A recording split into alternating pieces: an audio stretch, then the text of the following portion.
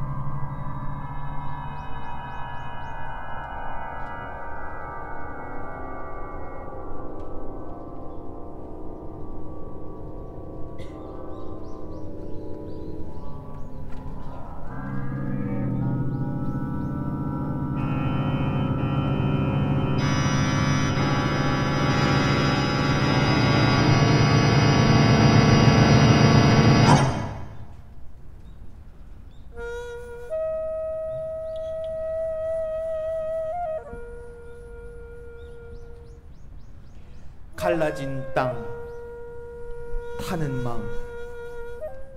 까마귀도 목이 말라 울지를 못하네. 배고파 우는 삼천 고울고울마다 궁핍함이 넘치니. 알곡 없는 논과들의 허수아빈들 곤궁치 하느니. 임금께서 기우제를 드리니 문무백관 신하들이 엎드렸다.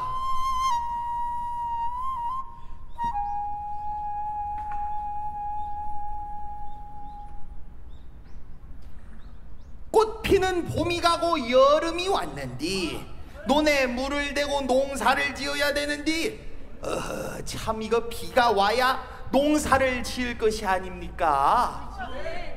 안 그렇습니까 여러분? 비가 와야 농사를 지을 것이 아닙니까? 음에 사람들은 꽉 찼는데 대답 소리는 하나밖에 안 들리네. 농사를 지어야 될 것이 아닙니까? 가뭄 가뭄 칭하고 칭합디다. 이런 가뭄을 우리가 어떻게 한두 해도 아니고 7년째 가뭄이 되니 이 노릇을 어찌할꼬 이 참상을 어찌 눈을 뜨고 볼꼬 논바닥은 거북등처럼 쩍쩍 갈라지고 임금께서 몸소 기우제를 드렸으니 하늘도 무심하여 꿈쩍도 않는 것이랬다. 탄다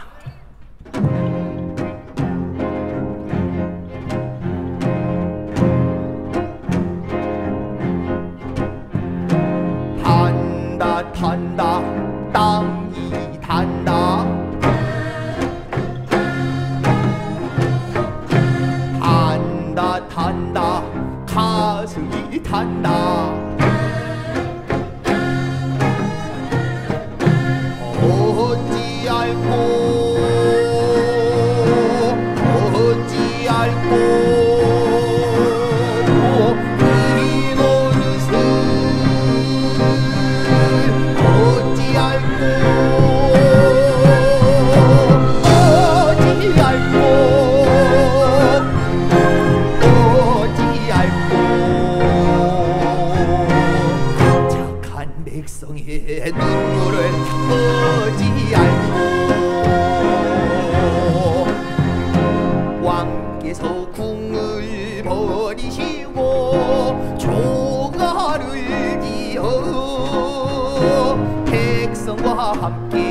함께 고난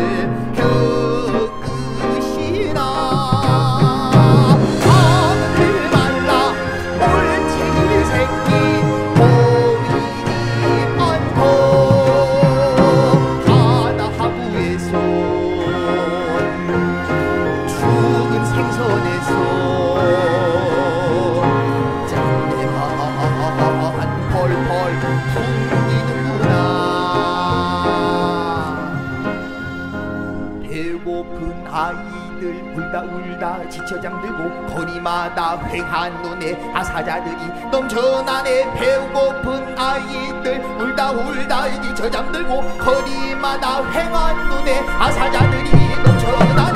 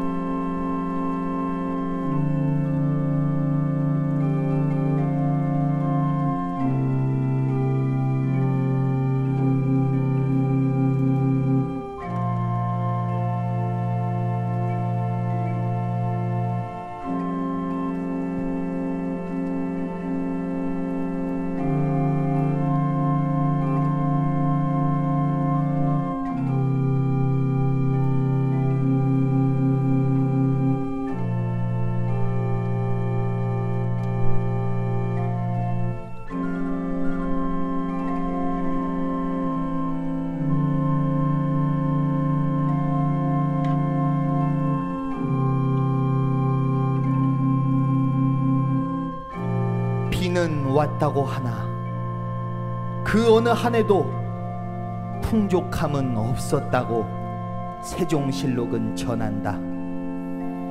그래서 이와 같은 잔치 풍악이 어울리겠소냐마는 600년이 지난 그먼먼 역사의 뒤안길을 돌아보면 우리가 오늘날 부족함 없이 사는 것이 모두 세종 임금의 위협이요 한글로 뻗어가는 국력의 힘이 아니겠는가? 그래서 이번 가을엔 풍악을 울리고 신명을 돋고 조상님들께 오늘의 풍요를 전하는 것이 우리 후손들의 도리가 아니겠습니까?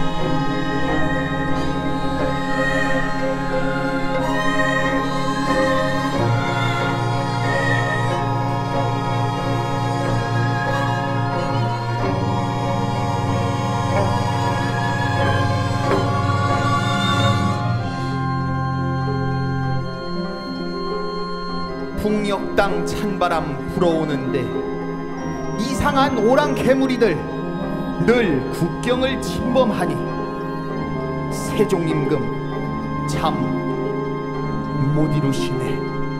남쪽 바다의 햇살은 따스한데 바다 건너에서 외구의 침략 밤낮을 가리지 않으니 댕